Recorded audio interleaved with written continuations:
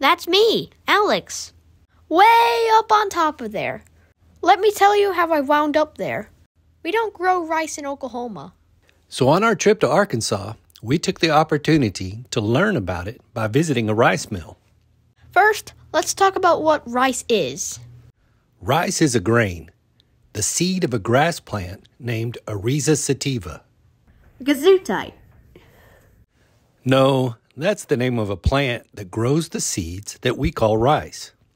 Rice is a staple food for many cultures and makes up more than 20% of the calories for the world's population.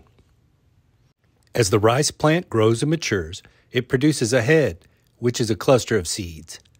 When these seeds ripen, they are ready for harvest, which is done with a combine. From the field, the rice is dried and stored, but it's not ready to be used.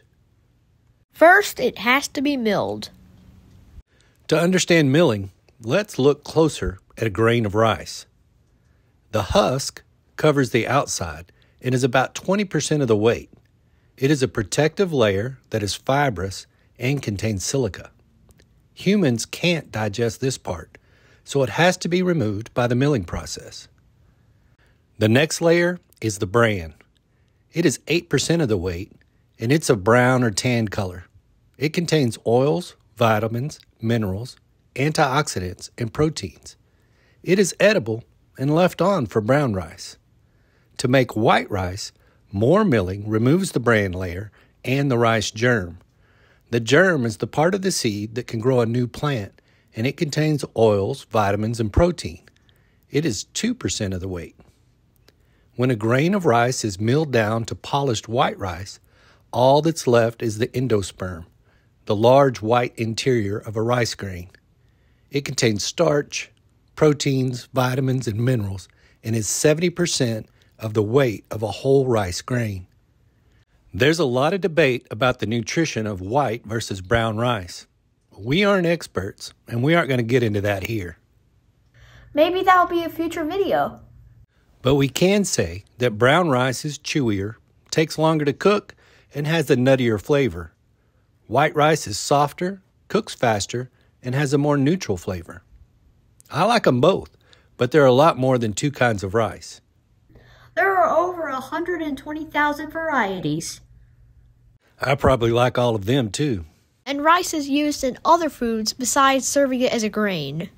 There's rice oil, rice paper, rice flour, rice vinegar, rice milk, puffed rice, rice noodles, rice wine, and some beer is brewed using rice. Which brings us to the Anheuser-Busch Rice Mill in Jonesboro, Arkansas. Surrounded by some of the world's best rice production, they mill 2.6 million pounds of rice per day. Much of that rice gets shipped by rail car to its breweries across the United States. And some of what they produce is table rice, the term used for what gets served to consumers as white rice. Let's see how they mill rice and what the difference is between what goes to the brewery and what goes to your table. This is Scott Preston. He gave us a tour of their operations. Trucks bring in paddy rice. That is what the rice is called when it comes from the field. Comprised almost entirely of whole rice grains, there is also some amount of extraneous matter like small rocks or soybeans or other non rice materials.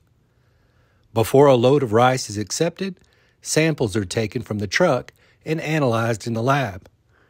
These samples are usually collected by this probe, which uses air to move it from the truck into the lab. But in some cases, it can be collected using this special trolley. Oh, that's how you get it? See how it goes down in the rats? One carton full push down the frame, flex it up in that box, off the big old vacuum. It, it gave some extra rice that got trapped. Yeah. In the lab, this sample is analyzed for moisture and quality. This machine measures moisture. And the rest of this equipment allows them to mill the sample to quality test it. The equipment is a mini mill, allowing them to quickly process a sample, making sure it meets their standards so they know if they want to buy the load of rice. If the samples test well, the truck is accepted. The truck then goes to the unloading bay, where the hopper bottoms are open and the paddy rice falls down through these large grates into a pit. At the bottom of the pit, drag chains move the rice and it begins its journey into storage. The empty truck gets weighed again. The full weight minus the empty weight is how much rice was received, and that is used to determine what the farmer gets paid for that load. All right, so that's paddy rice. You can see all the dirt and everything that's in it. We got to get that out. Now, just just get one of these. Pick up for us. All right, got one? All right, hang on. All right, I want you to, let me see your earplugs. This is good. What you got to do? Well, these don't work, so I don't think Okay. it matters either way. All right, so I want you to feel of one end. It's going to feel like a needle. No, with, with your hand. Touch, touch. There you go. You feel that? How sharp it is? Both ends are needling. Well, one end is sharper than the other. That's this this husk is very high in a material called amorphous amorphous silica. But you feel that? Yeah, there you see your dad. It's okay. Okay. All right. They're using rice hulls now, like they use pecans and walnut shells for abrasion. So these, once the husk is off and anything on this side, this will wear through AR plate steel in a matter of months. It's that silica makes it very abrasive. That's why we grind it up. The drag chains move the rice to the bucket elevator, which raises it high into the air. Valves can be set to direct which silo the grain gets stored. That elevator moves grain, but we took a more conventional elevator to the top so I could get a look at the view. How much did you oh, I wait enough. Get in there. He wouldn't put you in there. What'd say? No, this sucker's being redone. I redid it. Oh, I'm, I'm scared it's set weight limit 500 pounds. You're way shy of that, buddy. I'm right at, I'm, I'm right at two and five. Okay, Yeah, we're good. 335 pounds. Just right there. Here we go. So it's not so dark. The engine. Like, you still water deck. All right. Sure will go up. That's me, way up at the top. When these bins are completely full, it holds enough rice for two weeks' worth of mill operations 28 million pounds of rice. This is where the rice is stored until it's turn to be milled. On the way to the mill, we had to take a quick detour to see the shuttle wagon. They use it to move train cars. Here in the mill, all of this equipment on the lower level is used to move rice around from machine to machine. The first set of machines are the shellers. Their job is to take the husk off the rice. It does this by squeezing the rice grain between two rollers or plates, one of which is spinning faster than the other. This creates friction, which pulls off the husk. Now, we get the light. You got brown rice with a little bit of paddy still in it. So you got brown rice, and then you see that paddy. We get that paddy out on the next space and send it back to be shelled again. Well, that's that's what brown rice is. It's got a little layer of bread over it. You want to throw that back? From the shellers, it goes to the paddy tables. These machines sort out the grains which still have husk and the ones which have all the husk removed. The grains that still have husk get sent back to the shellers for another pass. Only the grains with all the husk removed go to the next step, the whiteners. The whiteners are the machines that remove the bran layer and the germ, and there are two stages of it. The rice that goes into the whiteners is brown rice, and it comes out white rice. See all this brown rice? Okay, that goes down, and it's stuck, and it's filled, right? It just sits there and slap these screens from the top, and we're rubbing the bread out there. I'm showing you the screens. Here, bread.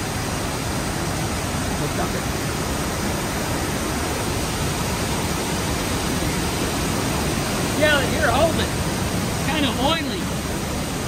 why it's kind of oily. See I can form it? This is what makes brown rice brown. We're milling it off of it for compaction. It gets sucked off by a fan. And we got a whole bin full of this stuff. This is very high in protein. Very high. That doesn't mean that the bran and germ are wasted. It still has value and can be used for other things. In this case, they sell it to be used in animal feed. There's the first pass. Let's compare it. So it's going to get it in, right? It's going to go. Then there, see how much lighter this is? Let's go compare it to the brown rice. Because of friction. So you're rubbing that rice together to get the bran off of it. One pass to another. See the difference of the whiteness. So we're capturing that bran, and this this is pretty close to what what I'm just thinking. The next machines are the pearlers that polish up the rice and sort out broken bits.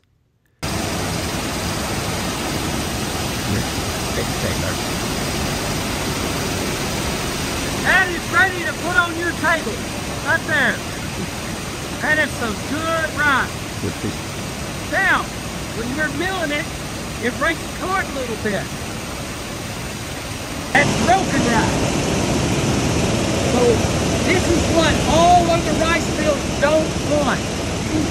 We don't mind it. We're sending it to breweries and they're turning it to crisp. So they're breaking it down even smaller than that.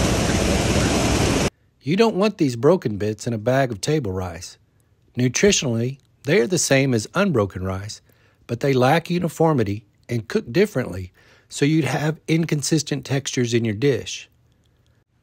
But the rice going to the brewery is going to be ground up to a consistent smaller size anyway. So if they are running brewery rice, the brokens don't matter. This means they can run faster and more aggressively when milling brewery rice.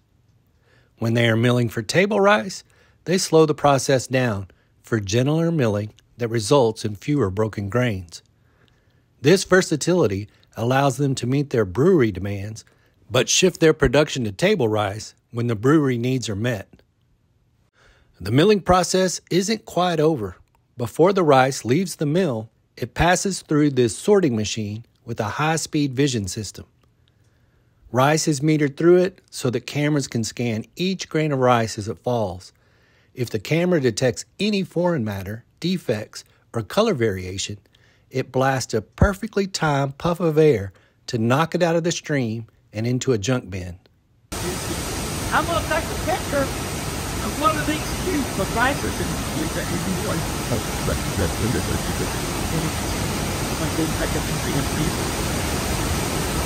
See that? It just took a picture. And if there was a bad piece in there, this machine knows to kick it out. It's got 15 cameras, and it's got a bunch of air nozzles in there, and he's just going, just shoot them out. Cleaned, milled, polished, and sorted, the rice goes to bins where it waits for shipping. In addition to shipping by rail, the milled rice can also be loaded onto trucks. Aided by computers and PLCs with custom software, the mill operator controls and monitors milling from this room. Potential problems show up as alarms, and displays show key processing information. Anheuser-Busch is the largest end user of rice in the country. Annual numbers are on the order of 882 million pounds of rice, worth around $120 million. That's enough rice to fill 4,200 train cars. Put another way, that is 14 trillion grains of rice. No matter how you look at it, that's a lot of rice. Thanks for the tour, Mr. Preston. I had a great time learning about rice milling. And thank all of you for watching. See you on our next adventure.